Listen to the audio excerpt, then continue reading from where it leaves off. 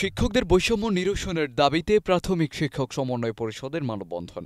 বৈষম্য নিরসনের প্রাথমিক শিক্ষক সমন্বয় পরিষদ, ঢাকা বিভাগ, আজ বুধবার নয় অক্টোবর সকালের দিকে বাংলাদেশ শিল্পকলা একাডেমির সামনে একটি মানববন্ধন অনুষ্ঠিত হয়েছে। এতে মানববন্ধনকারীদের যেটি দাবি ছিল শিক্ষকরা তাদের বেতন কাঠামো, সমতা, দ্রুত পদোন্নতি এবং চাকরির নিরাপত্তা নিশ্চিত করার দাবিতে এই মানববন্ধন আয়োজন করেন।